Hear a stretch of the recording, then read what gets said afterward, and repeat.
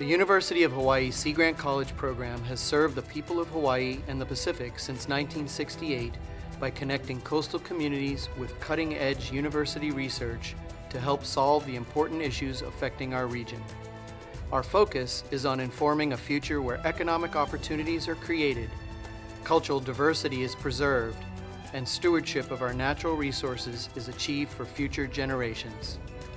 As part of the University of Hawaii's prestigious School of Ocean and Earth Science and Technology, and in partnership with the National Oceanic and Atmospheric Administration, we are consistently ranked among the top Sea Grant programs nationwide. Engaging in research, education, and outreach through our interdisciplinary centers of excellence, we build links throughout our university. From architects to engineers, economists to urban planners, and educators to oceanographers, at the heart of our mission is environmental stewardship, long-term economic development, and responsible use of our coasts and oceans. The Center for Smart Building and Community Design, Hawaii Sea Grant's first Center of Excellence, was established in 2004. We recognize that solving the issues we face in our oceans and on our coasts necessitates changing our behavior on land. Hawaii, as well as the Pacific Islands, face unique challenges regarding coastal natural hazards.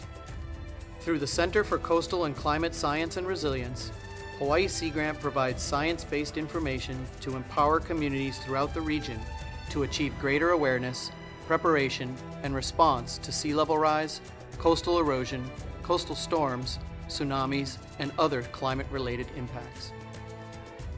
Through our Center for Marine Science Education, we foster an understanding of the natural world and the role of humans in it.